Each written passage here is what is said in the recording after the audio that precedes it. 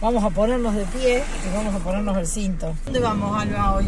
Y estamos yendo para Ocampo. Nace como una estancia muy grande que era este, un señor en Ocampo, que su primo después va a tener una hija, que va a tener una hija que va a ser Victoria Ocampo. Ah, O sea, es la estancia de los Ocampos. Todos los años acá, se, acá en el pueblo se hace la fiesta de la poesía.